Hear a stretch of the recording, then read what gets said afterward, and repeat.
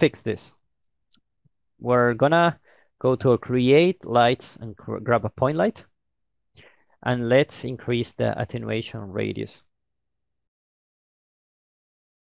And what I want to do is to create like a blue light, something like this. Just like that. And I can create my blue light. I can put it here.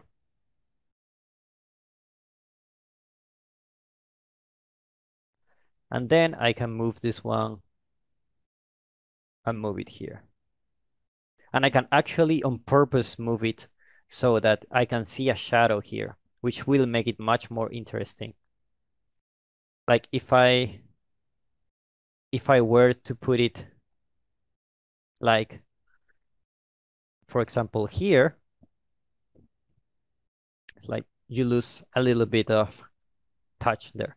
So shadows are very important.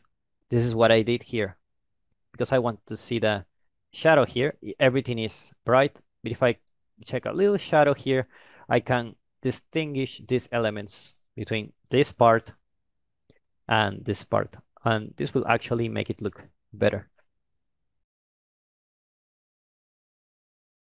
So what we want to do next is to make the objective stand out. Um, the way we do this is by using co complementary colors. Instead of blue, if you see this one, the complementary of this color should be around here. Okay.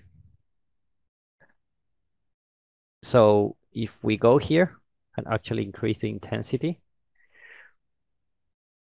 automatically you will know that this is the main objective because these ones don't have it and this one is brighter.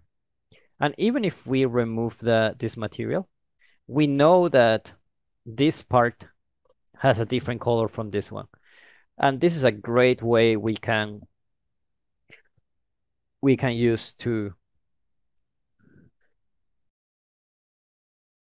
stand out our objective. Of course, this is a very extreme example, but just by having complementary colors, you instantly see here because you cannot help the fact that this color is the opposite of blue. So this is a very old school trick.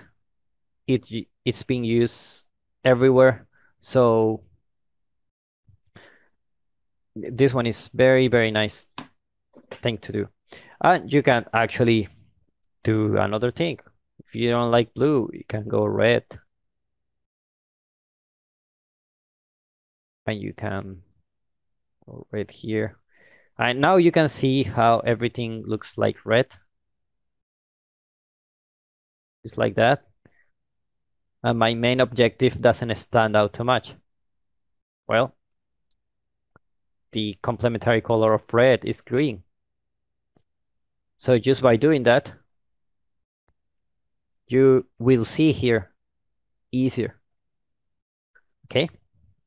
You will see Christmas. You will see Christmas. In the air.